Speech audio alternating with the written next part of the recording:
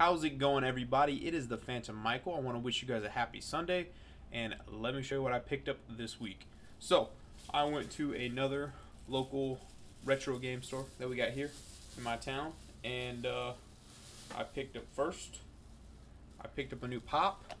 Picked up Yamcha. You guys know Yamcha, the best DBZ character there is. So, had to get me a pop on my, my main man's Yamcha. Um, this is like the older version, like right when he got um, the turtle gi. So I like that. Um, yeah, I mean not a bad. I actually, dude, this is freaking awesome. I'm actually really stoked about this pop.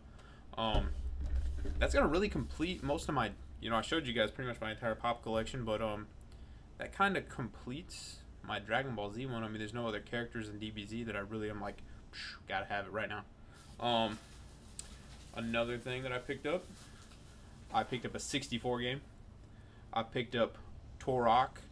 Love this game as a kid. This game is absolutely amazing. A lot of fun. Um, I had a lot of fun playing this game as a kid. Um, it was actually a blast.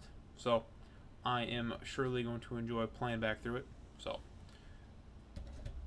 the next game that I picked up is a Game Boy Color game.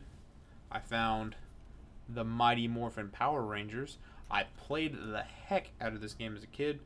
Um, really enjoyed it. I believe this is before they introduced the White Ranger and the Green Ranger.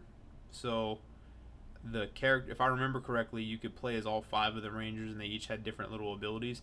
not gonna be like crazy playing this game, but it's really cool to say that I have it still. So got that and last but not least, the best thing that I picked up that when I seen it, I was like, I gotta have it. I gotta have it. I have a, well, this one is rewrapped. Obviously, I don't believe it came like this because I never actually got a chance to buy it brand new. Um, we have ourselves Pokemon Soul Silver with a Pokewalker. I never got the Pokewalker uh, when I was young uh, whenever Heart Gold and Soul Silver came out and they said they were being remade. I actually remember when uh, they were planning on doing it. I just never got a chance to buy the game new back then. Um, so I got it from someone else after the game had been out for a couple months. So uh, I went ahead and seen it today and was like, yep, I'm going to want it. So I need it. I'm going to want it. It's just going to get more expensive.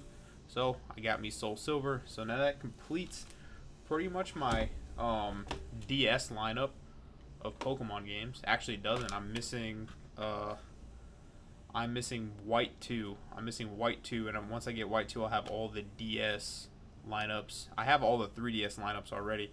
I'm just missing um, White two. Once I get White two, I'm done.